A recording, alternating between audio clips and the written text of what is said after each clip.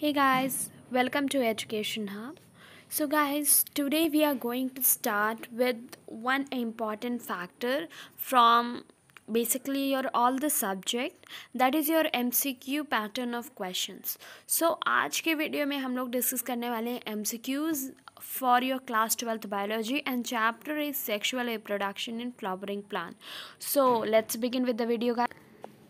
Guys so so, जैसा आप लोगों को पता है कि अब आपके बोर्ड एग्ज़ाम दो टर्म में होंगे due to COVID and in first term basically आपके एम सी क्यूज़ क्वेश्चन पूछे जाएँगे ठीक है?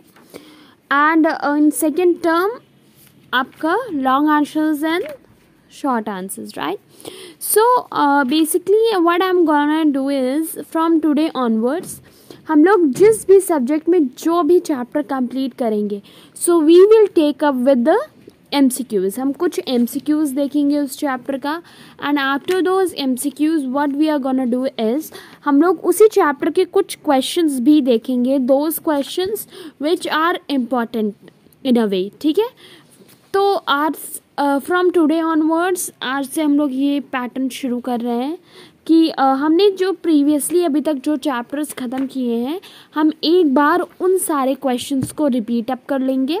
And after repeating those questions what we will do हम एम क्यूज़ को साथ में लेकर चलेंगे। N C R T is your base you know but as you know कि आपका कुछ पैटर्न चेंज किया है सी बी एस ई ने so that change pattern is also important you cannot take it lightly so for that purpose आज से हम एक नया प्रोसेस शुरू कर रहे हैं, जिसमें हम हर सब्जेक्ट के बेसिकली क्या देखेंगे? M C Qs and long short type answers for your all the chapters हमने अभी तक जो चैप्टर कंप्लीट किए हैं, पहले हम उन्हें एक दो दिन में कंप्लीट कर लेंगे सारे क्वेश्चंस जो इंपॉर्टेंट हैं आफ्टर दैट अब हम जो चैप्टर कंटिन्यू कर रहे हैं, उस चैप्टर के ख़त्म होने के बाद हम उस पर्टिकुलर चैप्टर के M long answer short answer diagrammatic all type of question we will discuss okay first M C Q आपका है that double fertilization is characteristic of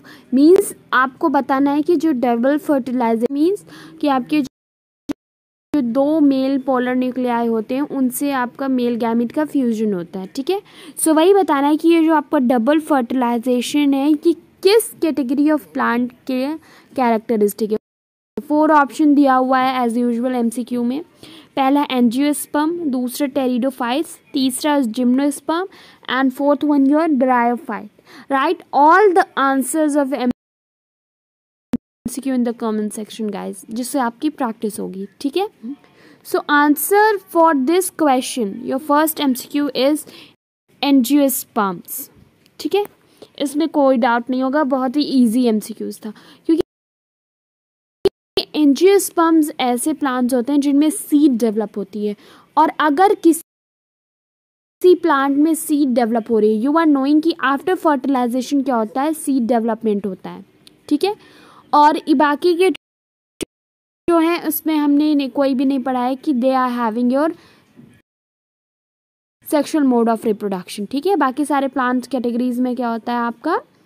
A sexual mode follow करते हैं बेसिकली और binary fission multiple fission and all these type of stuffs ठीक है? So your double fertilization is related to your angiosperms okay now next MCQ this is your second MCQ right second MCQ कह रहा है आपका कि जो male gametophyte होता है एंजियोस्पर्म का, उसे हम क्या कहते हैं? बेसिकली हमें बताना है कि what we do, say to male gametophyte of angiosperm यानी कि मोनोकॉट्स मोनोकॉट्स और योर एंजियोस्पर्म्स ठीक है? सो मोनोकॉट्स में आपके मेल गैमेट को हम लोग क्या कहते हैं? फोर ऑप्शन दिए हुए हैं। First one is your microsporangium second one nucellus third microspore fourth stamen so what will be the answer of this question N C Q इसका आंसर क्या? मैंने बताया था कि मेल गैमिटोफाइट ठीक है? मेल गैमिटोफाइट को हम लोग क्या कहते हैं? ये मैंने पढ़ाते हुए आप लोगों को बताया था कि मेल गैमिटोफाइट को हम लोग अनदर वर्ड में क्या जानते so correct answer for this is your microspore what is the correct answer, guys? Microspore this microspore option C is your correct answer क्योंकि मैंने बताया था कि जो हमारा मेल गैमिटोफाइट होता है, उसको हम क्या कहते हैं? Mother microsporic cells remember mother microsporic cells हम लोग बोलते हैं, जहाँ से हमारा क्या? पोलन, यानी कि मेल गैमिट का डेवलपमेंट होता है। So this is the same question being ask कि आपको मेल गैमिट जो होता है एनजियोफाइटिक में, उसमें मेल गैमेटोफाइट को हम लोग क्या कहते हैं? So correct answer is your microspore remember microspore is correct answer and अगर किसी को इन सब टॉपिक्स में कोई कन्फ्यूज़न हो रही है so they can go and watch my video on the chapter sexual reproduction in flowering plant guys ठीक है? Because that chapter is going to be very important because M C Q basis के लिए उसमें बहुत सारे questions बन सकते हैं right so are your third M C Q ठीक है? ये आपका थर्ड एम सी एमसीक्यू है बेसिकली इसमें दो क्वेश्चन है guys I was not divided these question so these are your two separate question so पहला क्वेश्चन जो आपका दिया हुआ है, वो क्या दिया हुआ है, उसको डिस्कस करते हैं। उसमें ये बोला गया है कि जो आपके स्पर्म और एग का न्यूक्लियाई होता है, उसका फ्यूजन क्यों होता है? Means sperm and egg nuclei fuses due to इसमें फोर ऑप्शन दिया हुआ है। फोर ऑप्शंस क्या हैं? फ़र्स्ट हम लोग उनको डिस्कस करते हैं। After that we will discuss one the correct answer इसमें पहला ऑप्शन दिया हुआ है pairing of DNA and RNA second है formation of hydrogen bond third है mutual attraction between difference due to electric charge and last one is your attraction of protoplast so इस question का सबसे सही आंसर मीन्स योर सबसे सही option है इसका वो है अट्रैक्शन ऑफ़ प्रोटोप्लाज्म ठीक है? इसका आंसर यही है अट्रैक्शन ऑफ़ प्रोटोप्लाज्म की वजह से क्या होता है? आपके स्पम और एग का न्यूक्लियर फ्यूजन होता है। मीन्स उनका न्यूक्लियस एक दूसरे में फ्यूज होते हैं। And due to this fusion आपका क्या होता है? वेरिएशन होता है and your baby is formed okay now इसका जो सबसे इंपॉर्टेंट चीज़ आपको याद रखनी है वो ये याद रखनी है कि uh, इसमें हमारा एग और स्पर्म के न्यूक्लियाई के फ्यूजन की बात हो रही है इस क्वेश्चन में ठीक है? So due to this fact हमें ये ध्यान रखना होगा कि इलेक्ट्रिकल चार्जेस के बीच का डिफरेंस यहाँ पे बिल्कुल नहीं मेंटेन होगा क्योंकि दोनों ही दोनों में सेम नंबर ऑफ़ क्रोमोजोम होते हैं। ठीक है? दोनों ही दोनों क्या होते हैं? हमारे हैपोलॉइड होते हैं। And when they mean they form the diploidy condition so ये जो आपका थर्ड वाला ऑप्शन है it is absolutely wrong now a third question uh, that is given on the below side of third question में आपका क्या बोल रहा है कि फीमेल गैमिटोफाइट को हम किससे डिनोट करते हैं एंजियोस्पर्म में? सिंपल है जैसे मेल में आपने क्या किया था? मैक्रोस्पोर को अंडरस्टैंड किया था। इसमें ही सेम वही होगा। इसमें दोनों ही स्ट्रक्चर सेम थे। मैंने पढ़ाते हुए बताया था कि दोनों स्ट्रक्चर सेम है बट मेगा एंड माइक्रो इन दोनों में ही डिफरेंस करना है। So so, megaspore mother cell is correct answer for this question guys. Megaspore mother cell is right answer क्योंकि मेगास्पोर मदर सेल जो होती है we actually say it because mega means your female okay so female gametophyte जो होती है, वो क्या होती है? मेगा स्पोर मदर सेल होती है एंजियोस्पर्म में, ठीक है? फिर इसी मेगा स्पो मदर सेल से हमारा क्या बनती है? फीमेल गैमेट बनता है।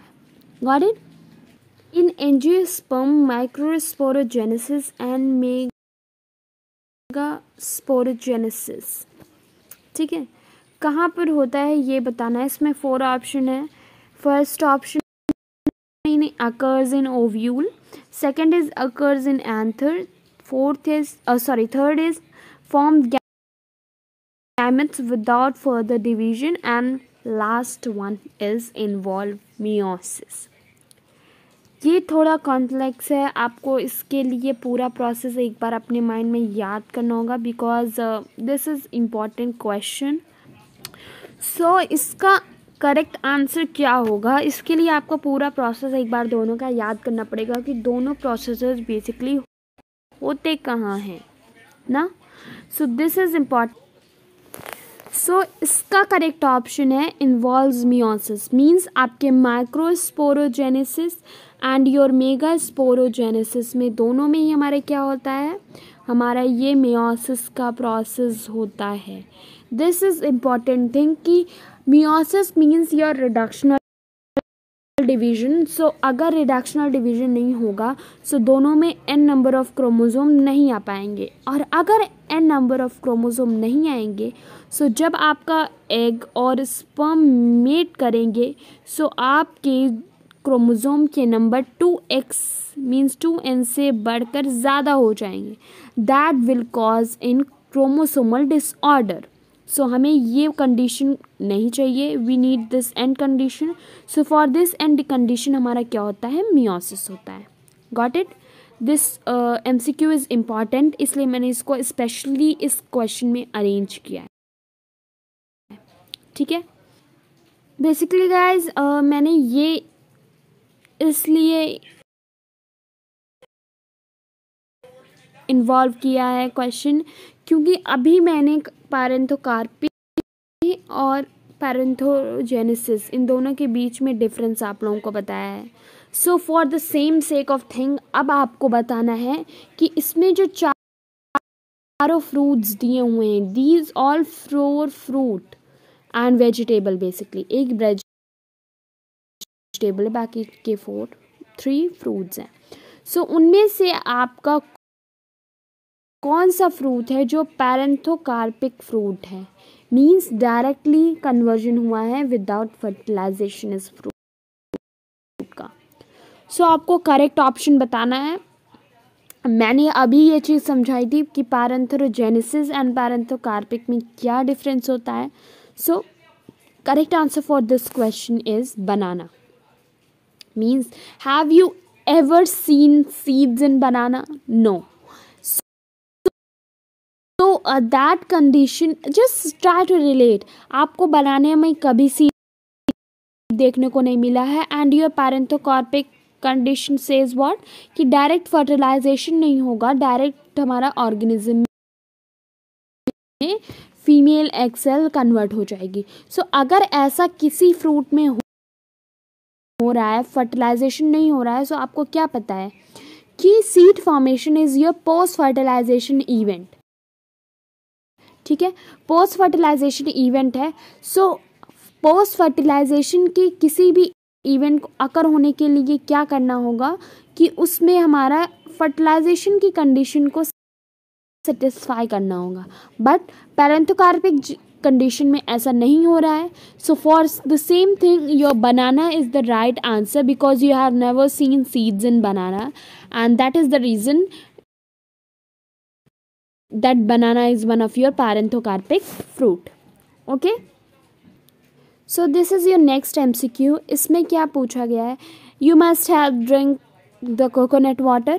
आपने गर्मियों में ज़रूर पिया होगा, नारियल पानी। सो सेम क्वेश्चन इज़ कि coconut water from a tender coconut is अब आपको बताना है कि ये जो कोकोनट वाटर होता है कोकोनट में, वो होता क्या है एक्चुअली जी जनरेटेड न्यूसलेस होता है इमेच्योर एम्ब्रायो होता है फ्री न्यूक्लियर एंडोस्पम होता है या फिर innermost layer of seed coat होता है। ये चार ऑप्शन है, ठीक है?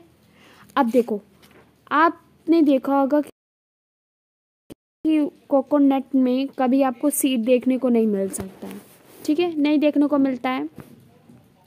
And this is the reason कि आपका फोर्थ वाला ऑप्शन क्या है? गलत है। Innermost of the seed layer this is your wrong option क्योंकि your whole coconut itself is a seed so अंदर के जो कोकोनट वाटर होता है that cannot be the inner layer of seed coat right now embryo जो है, वो immature embryo option भी गलत होगा। क्यों गलत होगा? इसलिए गलत होगा कि अगर इमेच्योर एम्ब्रायो होता so that would not be lying freely inside the coconut उसके ऊपर कुछ ना कुछ प्रोटेक्टिव लेयर्स होती या something there must be for its protection अगर वो इमेच्योर एम्ब्रायो होता। और आप ये भी देख रहे हो कि इमेच्योर एम्ब्रायो है सो उसके न्यूट्रिशन के लिए वहाँ पे कोई अरेंजमेंट नहीं है। You have ever not seen anything inside the new your coconut ठीक है? सो ये ऑप्शन भी ऑलमोस्ट गलत ही है पूरा।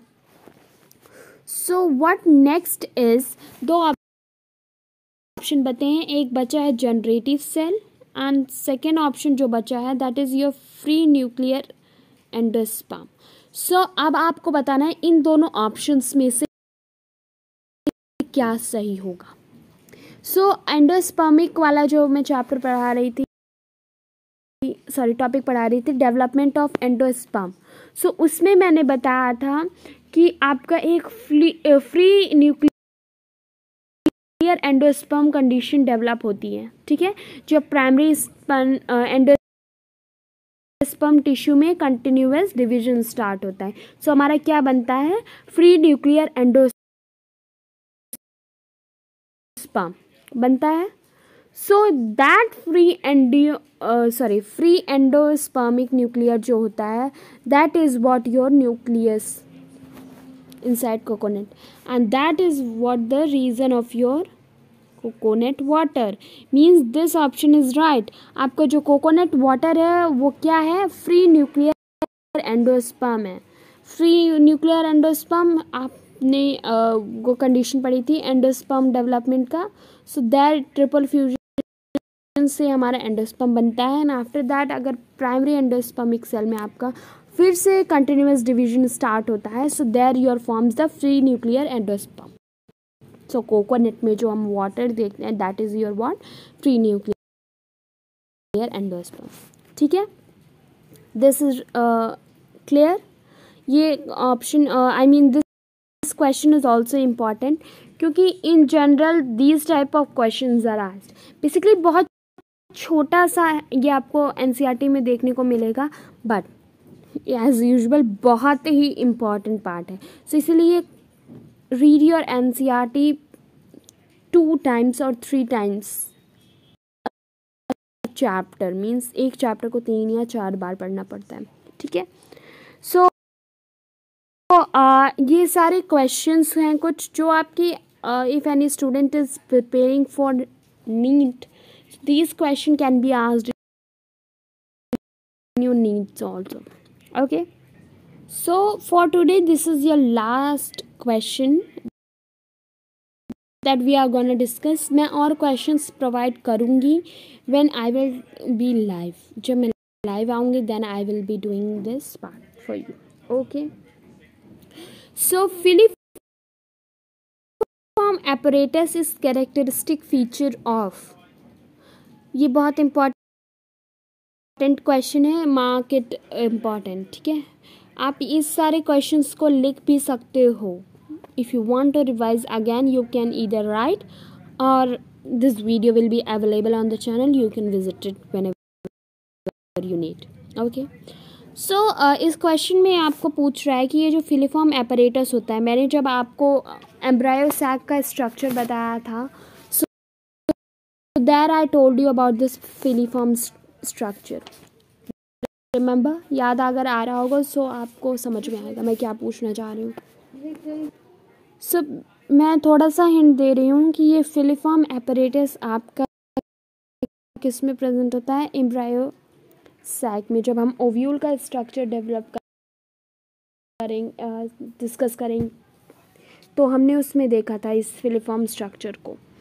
अब आपको बताना है कि ये फिलीफॉर्म स्ट्रक्चर किस चीज़ का रिलेटिव होता है। ठीक है? इसमें चार ऑप्शन है। पहला सिनर्जिट दूसरा न्यूक्लियर एम्ब्रायो तीसरा generative cell and last one is your एलियोरल cell ये सारा पार्ट आपका किसका है? बेसिकली योर इंसान सो ये चार ऑप्शंस हैं। अब इसमें से बताना है कि फिलीफॉर्म एपरेटस किस से रिलेटेड होता है। So your filiform apparatus is related to your synergids this synergids अब आपको ये भी याद दिला दूँ कि इस फिलीफॉर्म एपरेटस का क्या फ़ंक्शन होता है। This filiform apparatus has a very important function ये क्या करता है बेसिकली आपके पोलन ट्यूब को क्या करता है? डायरेक्ट करता है, जिससे कि वो माइक्रोपाइल से कहाँ पहुँच सके? अंदर ओव्यूल में पहुँच सकते so that's all guys for today. Thank you so much for watching the video.